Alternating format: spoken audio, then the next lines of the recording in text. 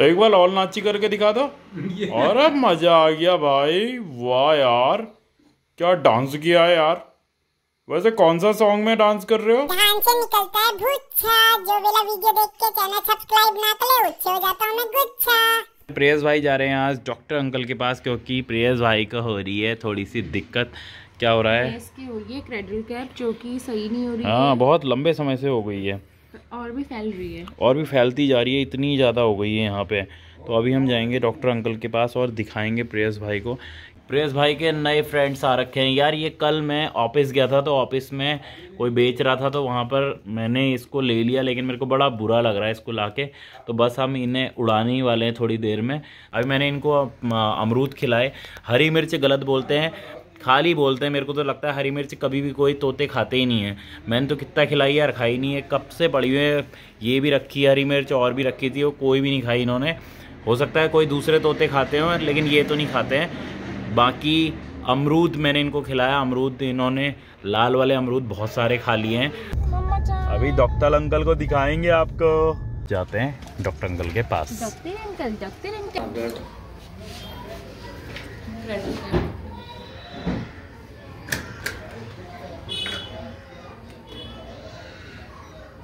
कितनी प्यारी जगह है हमारी, देखो यार, मज़ा आ जाता है हमारी जगह देख के। सामने जो आपको दिखाई दे रहा है, वो है international stadium Indira Gandhi international stadium अभी आपको उसका गेट दिखाते हैं सीधे। तो ये है इंदिरा गांधी इंटरनेशनल स्टेडियम का गेट और यहाँ पे पीछे स्टेडियम है, इसके बगल में है यहाँ पर हवाई अड्डा, और हमारी जगह। कभी कभी मुझे अपनी जगह को देख के लगता है कि क्या मैं स्वर्ग में हूँ? या हमारा जो उत्तराखंड और हमारी जो जगह है, वो ही स्वर्ग है? कितनी प्यारी सी जगह है। ये देखो क्या सुंदरता है। रेज भाई घर आके सो चुके हैं अपने दादाजी के साथ। और भावना बना ली है चाय और आज हम करेंगे चाय और समोसों का ब्रेकफास्ट तो अभी हम ले गए हैं समोसे। तो आज हम करेंगे समोसों का नाश्ता। अभी अभी मैंने दूध गिरा दिया था हो जाता काम। फिर चाय भी जाती। तो आज हम प्रेयस को जब दिखाने गए थे डॉक्टर अंकल को तो रास्ते से हमने ले लिए समोसे। तो आज का हमारा जो नाश्ता है वो इसी का हो जाएगा। तो समोसे कैसे हो रहे हैं? समोसे इसके टेस्टी हैं तो मन तो कर रहा है सारे समोसे खा जाओ यार। समोसे में एक दिन आलू ही नहीं था मैंने कहा नहीं उसमें आलू नहीं था पपड़ी पपड़ी प्रेयस भाई कैसा लगा डॉक्टर अंकल के वहाँ? वहाँ आपका मैंने फेस ऐसे पकड़ा था ना वहाँ पे तो आपने इतना हल्ला कर दिया ना इतना हल्ला। अब तभी कह रहे हो ना मेरे से मारूँगा मारूँगा वहाँ मेरा फेस क्यों पकड़ा? हल्लो बड़ी हल्लो बड़ी हल्लो बड़ी।